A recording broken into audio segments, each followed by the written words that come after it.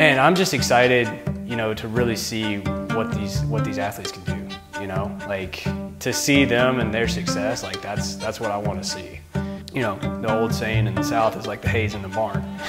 you can hang your hat, like all your work, you're you're you're prepared for this. We've done everything we can for you. You know, now it's your time to go shine.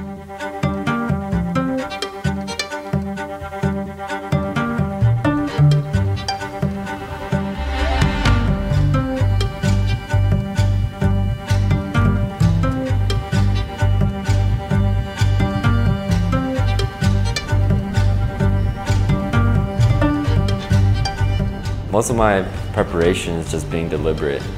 I can easily go through the motions of skating because I've done it for so long. But with the Olympic season being this year, I have to do everything I can to improve.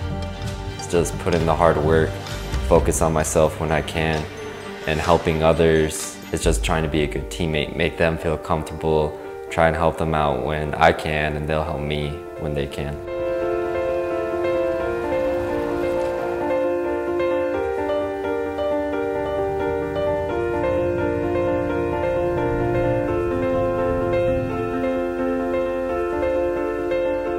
I just thought it'd be fun to get away from the rink, you know, just kind of step away from skating for a little bit before like all the hard training starts.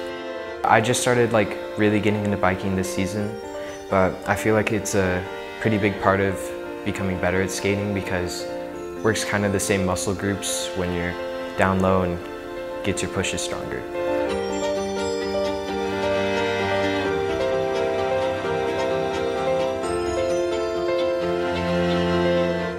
I'm really proud of them.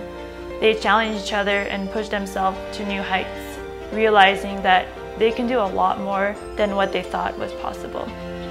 I think this was also a good reminder that they have what it takes. It's in them, and they can adapt to any situation, any environment. You know, embracing the unexpected, and they're ready. And I'm excited to see what they can do.